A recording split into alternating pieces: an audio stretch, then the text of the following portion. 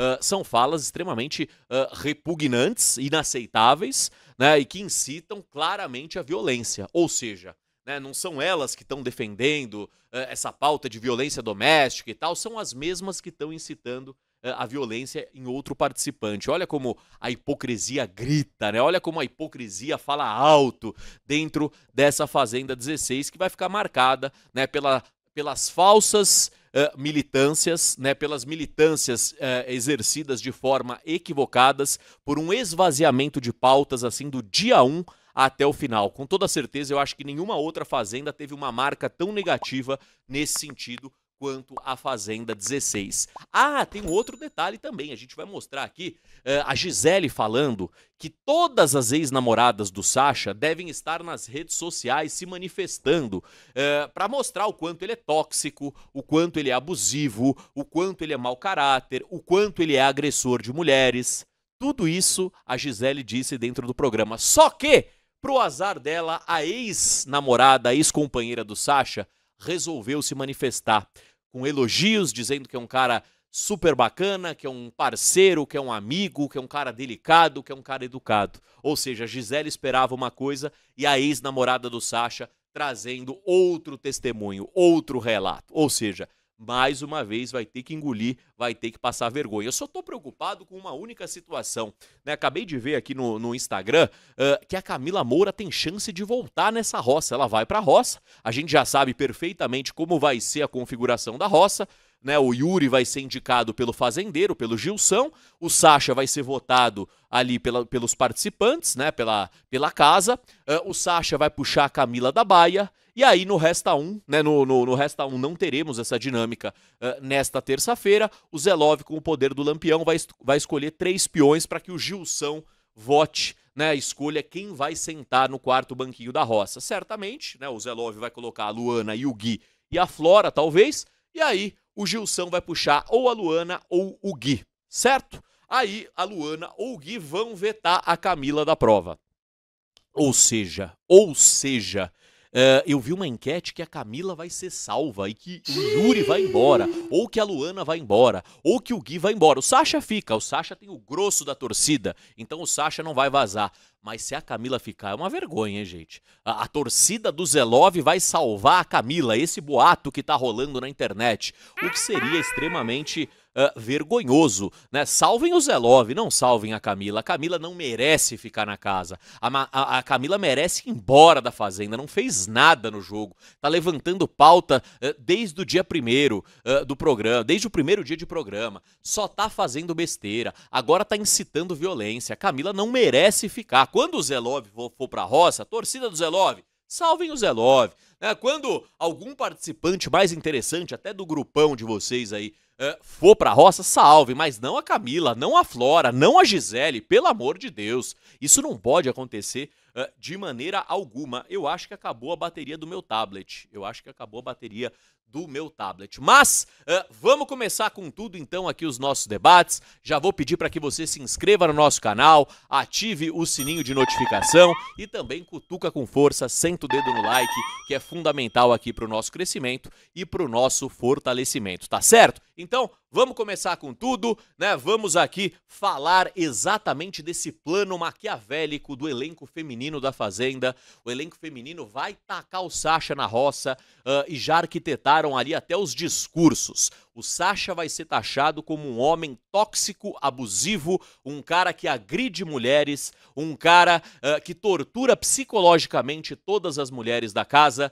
Uh, ou seja, ele vai ser uh, achovalhado, como diria Márcia Fu, ele vai ser esculachado em rede nacional. Só que todos nós sabemos que ele não é nada disso. Ele pode ser ardiloso, ele pode ser um ator, ele pode ser um personagem, ele pode ser a vítima de Taubaté, agressor de mulheres, ele nunca foi. Então, só Uh, diante dessa justificativa, a tendência é que todas as lacradoras passem uma vergonha hoje uh, e, e, até as mulheres né, do Brasil. As mulheres do Brasil têm que dar uma resposta absurda para essas mulheres do elenco feminino da Fazenda 16.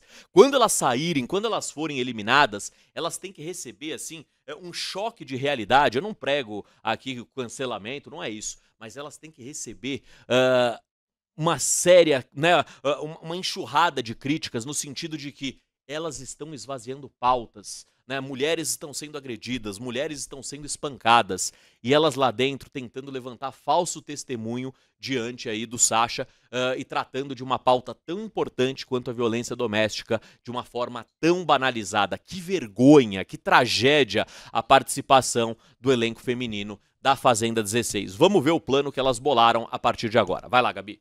É, de fato ali, só tem que combinar para a gente não ter muito pulverizado, para não correr o risco de eles, de eles terem quatro votos e a gente não ter nem quatro. É, é eu, eu pensei que a gente tem um segundo, uma segunda. Se a gente tiver quatro, pelo menos fazendo o áudio, o, áudio, o áudio falou que era o Sacha. Mas, se é. elas forem no Sacha mais óbvio, já deu quatro. A gente tem não, que ter... não, mas eu preciso ir. Ah, então mais um cinco. Eu também vou no Sacha. Três, quatro, cinco. O Fernando também. Eu, eu iria no Gui de boa. Mundo no... o Gui também. Não, eu voto tá em outra pessoa, posso votar. É, você dá, você dá pra votar no Gui? Ele eu no voto Gui? no Gui também. É. Se votar. É, aí tem que ver. Se votar oh, quatro pessoas no Gui, O mais bonito é, é todas as meninas votarem tá nele. O mais bonito seria todas as mulheres votarem nele e justificarem. E eu também. Por quê? Você também. Você é. também que tem a história envolvida é, com esse tema. É, ser um negócio aí. É. De, de Lúcia toda hora. Então é isso, as mulheres e você votam nele. Eu posso o segurar minha onda, já venho segurando desde o primeiro você programa. Pode, você pode falar dele, mas votar no Gui. Foda-se. Aí você fala que ele, ele é parceiro, defende. Aliado. Pois é, defende tudo defende. que o outro faz, passa a mão na cabeça. O Gui quis ferrar mesmo na, na roda passada. Ah. É. São seis mulheres? Sete. Ou seja, já tem aí todo o plano maquiavélico arquitetado para que o Sasha, eh, para que o Sasha seja desmoralizado hoje à noite. Mas é, é, impressionante, né? Até a Galisteu veio a público, se manifestou e disse: uh, vai ano e vem ano. E tem peão que comete os mesmos erros né, de outras edições, de outras gerações. É impressionante, né? Porque se você cometesse erros diferentes, tá tudo certo. Agora você cometeu os mesmíssimos erros. Poxa vida, se a Galisteu fez a intervenção, se a produção do programa com 400 pessoas é, não viu absolutamente nada de errado, como é que eles não conseguiram chegar à conclusão que o Sasha não agrediu ninguém? É impressionante, ó. É, daqui a pouco eu vou soltar o que a esposa ou ex-companheira, ex-namorada, não sei, do Sasha é, disse a respeito dele e depois o que a Gisele tá afirmando na casa que o que deve ter de mulher reclamando do Sasha nas redes sociais. Então vocês vão ver que uh, o discurso da, da Gisele uh, em nenhum momento uh, se torna real aqui na vida, né, no mundo aqui fora. Por quê? Porque a pessoa que se manifesta sobre o Sasha fala super bem dele, né, traz uma série de elogios, fala que ele é um cara de caráter, é um cara íntegro, ou seja, eles estão inventando situações completamente inexistentes. Que vergonha, que vergonha. Ó, Tony Arruda, Tálamo não tem santo no reality. O Sacha está sendo rasteiro, como dizem. Uh, e com todos os erros, é o maior jogador dali. Para mim, uh, o maior controle emocional é dele. Uh, e, e, segurar o riso diante desse elenco burro. Eu não tenho dúvidas, eu não tenho dúvidas que o Sacha quando ele vê todo aquele show de horrores, aqueles palavrões, o pessoal dizendo que ele é agressor de mulheres, ele sabendo que ele não é, eu não tenho dúvidas que ele por dentro tá dando risada, tá dando pulos de alegria uh, e, e, pensando ali com, né, com ele mesmo. Continuem, continuem, continuem, porque vocês estão dando o prêmio de bandeja para mim, né? Uh, mas é inegável que ele tá sendo perseguido, inegável que o pessoal tá pegando muito pesado com ele. E essa roça de hoje, olha que a Record coloque aí seguranças de prontidão. Uh, tem tudo para ser assim uma das maiores formações de roça da história no sentido de violência. Eu acho que o Zelov está completamente abalado emocionalmente. Uh, outros participantes ali também podem uh, se inflamar e inflamar o próprio Zelov, que é um cara né, que já tem um temperamento mais explosivo, que coloquem um segurança ali para proteger o Sasha hoje, porque o negócio não vai ser brincadeira. Ó, é, Bruna Carla, boa tarde, pessoal do chat. Boa tarde, Bruno Tálamo. Boa tarde, Bruna. É, turma da turma da JS Pintura 2024. Babi é a Babilônia da Fazenda. Uh, Jeva Abreu, esses homens no, no meio dessa vergonha, dessas mulheres ridículas. Catiane Neves, fora Camila Urgente. Uh, a Carlinha Nepum, Nepomuceno.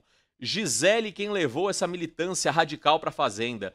Depois do Justiça por Larissa, Gisele é a grande culpada pela militância. Ela pode ter trazido a militância. O problema é que o pessoal também não cansou da pauta, né? O pessoal também abraçou né, essa narrativa mentirosa dela desde o Justiça por Larissa uh, e ainda tá seguindo essa história até mesmo depois do aviso da Galisteu. Então, dá para culpar a Gisele? Dá, mas tem que culpar o elenco todo também, que não tá uh, né, diferenciando Lé com Cré. É, o elenco tá perdido. É um elenco, como uh, já o, o Sacha já havia adiantado e dito ao Zac, uh, e ele não entendeu muito bem, é um elenco com pouca capacidade cognitiva, ou seja, é um elenco meio burrinho.